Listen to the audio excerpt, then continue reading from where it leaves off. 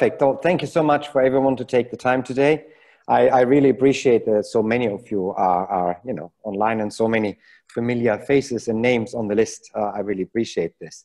Um, as as uh, Alexander already said, CEP is an organization that looks both as the operational side uh, uh, of online behavior of extremist and terrorist groups, as well as uh, counterterrorism financing measures. And we um, just did a little bit of research at the beginning of this year uh, where we looked at the combined issue, i.e. the terrorism financing by misusing social media applications. Now, certainly the adoption of new technologies by terrorists is not a really new issue.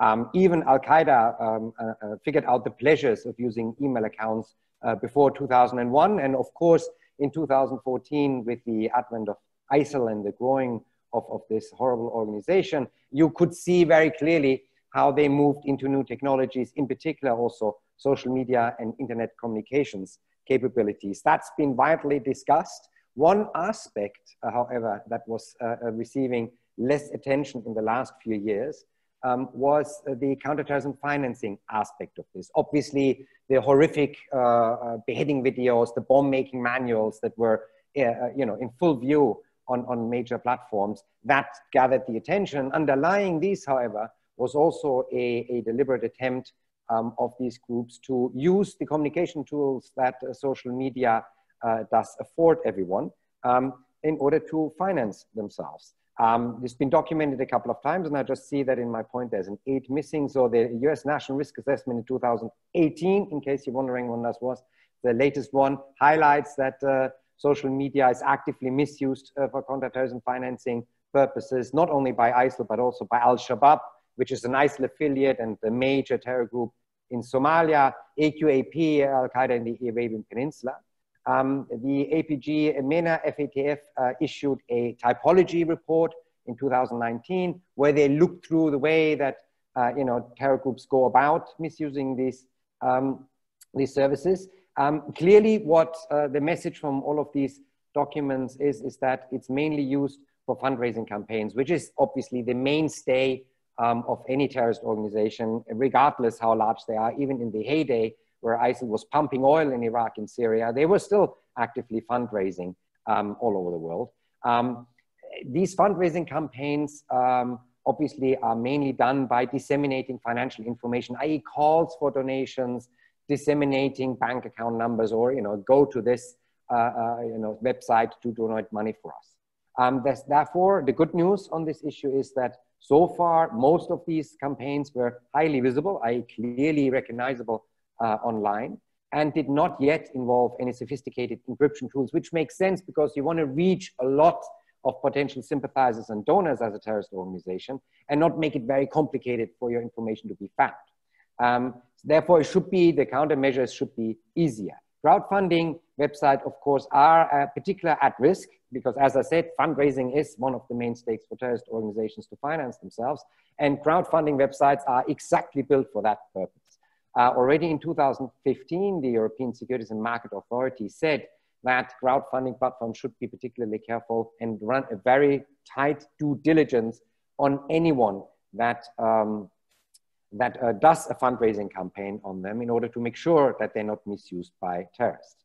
Um, unfortunately, so far the experience was that if fundraising campaigns have been discovered by crowdfunding platforms, the investigations always run into a problem because even the platform really didn't have the information who actually did those fundraising campaigns. So we do really have an, an effort for them to be misused, uh, these, these uh, services, and we have a problem still on how to act and prevent this misuse. They're really, in, in anything a social media platform wants to guide, there are really two ways to figure out what's going on for them. On the one hand, they can recognize they have users on their platform that have nefarious backgrounds, i.e., they can recognize that there are terror financiers on their platform being active. The other one uh, defense mechanism is that you look at what's going on on your platform independent of a particular user and see whether you can find patterns that may be pointing towards nefarious purposes. Both require, however, that platform actually prioritize the issue, in this case, terrorism finance, and look actively for that. And the major tool here for the recognizing of the activities is what is, depending on the platform, called rules or terms of service or community standards. It's basically the document that says to all users, if you want to use our services, this is what you're okay to do, uh, this is what you're not okay to do. Um, so it clearly outlines where platforms are going to prioritize what they're looking for. Now, at the beginning of this year, we um, at CEP really did very basic tests of both um, uh, uh, defense mechanisms. The first one, recognizing that there are tariff finances on your platform. We basically, and this is the reason why uh, we asked Edmund and, and Jackie to join us today. We looked at the very same list that Edmund, Jackie, and their colleagues are uh, managing with the Security Council, the ISIL uh, and Al Qaeda sanctions list. This is the only global list that there is. This is the only global list that is legally binding for all member states because it's passed under Chapter 7, is part of the United Nations Security Council sanctions list, and it presents somewhat of a global consensus that the individuals and groups that are on that list, and there's around 380 plus, uh, it changes, as Edmund says, through uh, review processes uh, fairly frequently. Um, but these 380 plus, the world community um, is in a consensus that these are indeed terrorists and not freedom fighters. Um, there is a subset in that list. Um, if you go through the, and this is how the data fields look like, there is a subset of those individuals. This is just the first three names on that list.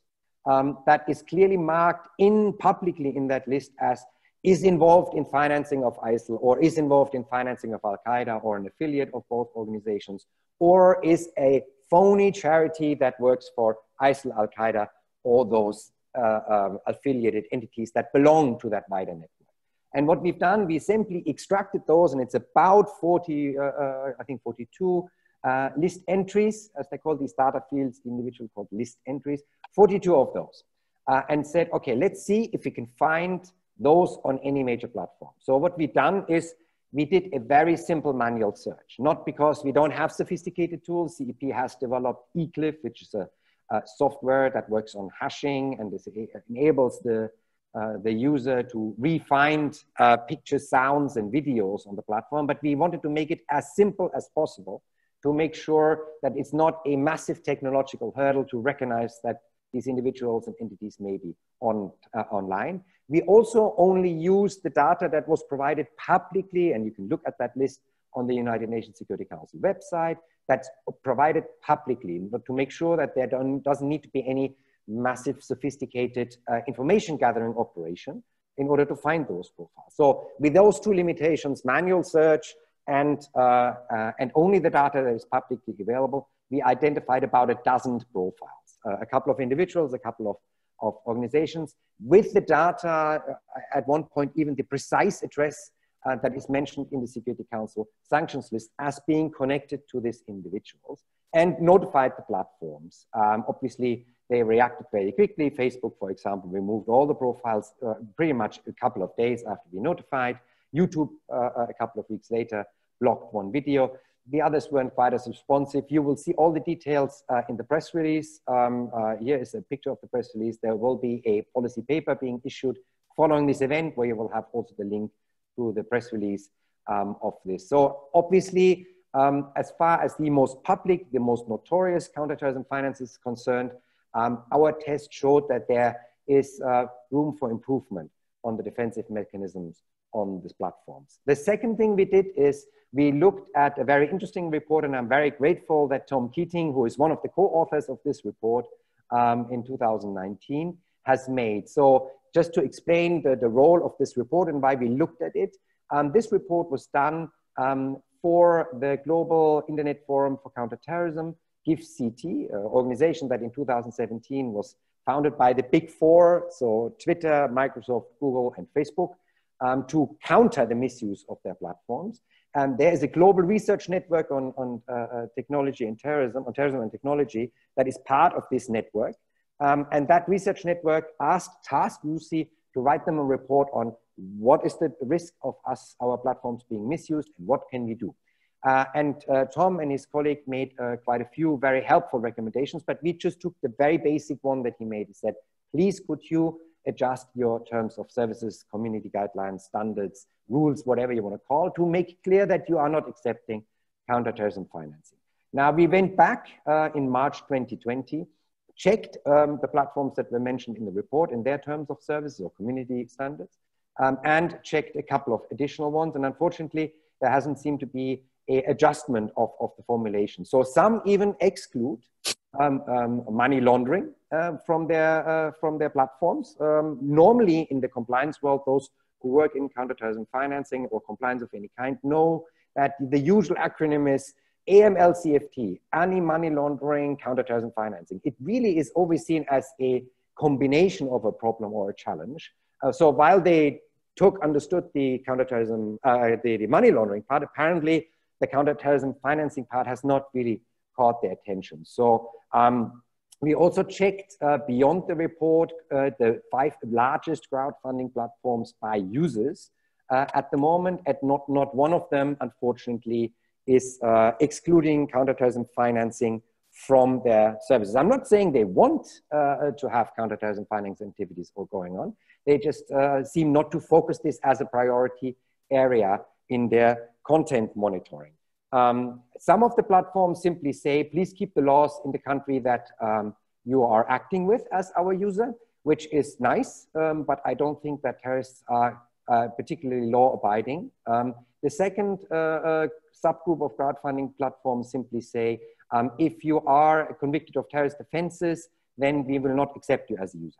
Um, unfortunately, there's no information how a global crowdfunding platform could check each individual user um, if they have a counterterrorism financing conviction. And I do not think that users are willing to share that information when they sign up for a funding uh, uh, uh, adventure at those platforms. So there is still gaps that can be closed. Therefore, we make um, two very simple recommendations for the platforms, as you can imagine. Number one, please could you proactively at least search for those terrorism finances on your platform that are publicly known.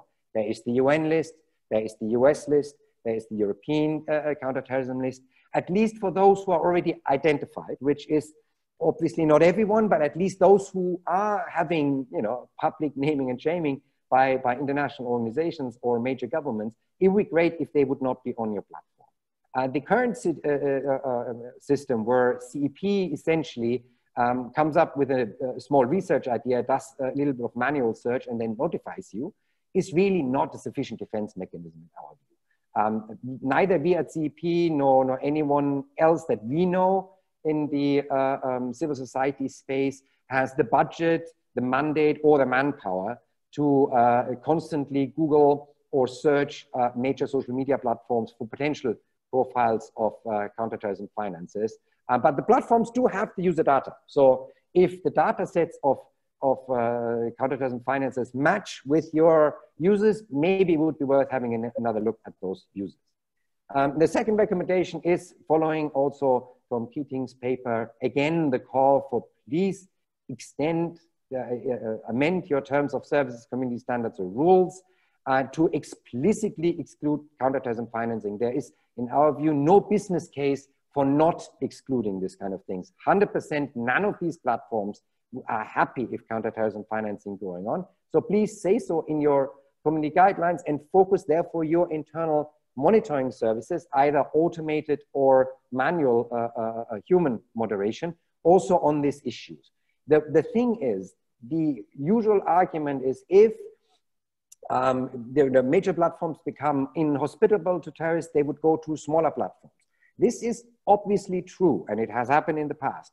For counterterrorism financing, this means a significant reduction in uh, uh, finances of global networks like ISIL and Al Qaeda in their ability to act. They need the broadest possible um, uh, public outreach. And a platform with a billion users is better than a platform with a thousand users. So, yes, they may migrate to, to smaller platforms, but in that case, that is actually already a major impact on their ability to raise funds. So, please, if you could explicitly exclude this and focus your internal mechanisms, develop some expertise on what's going on in the counterterrorism uh, field, uh, financing field, and uh, try to start moderating this, this would be a quick win and a quick help.